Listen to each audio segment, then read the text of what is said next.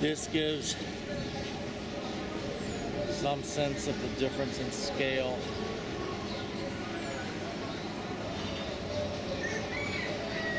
Between the Carnival Magic and then our little ship.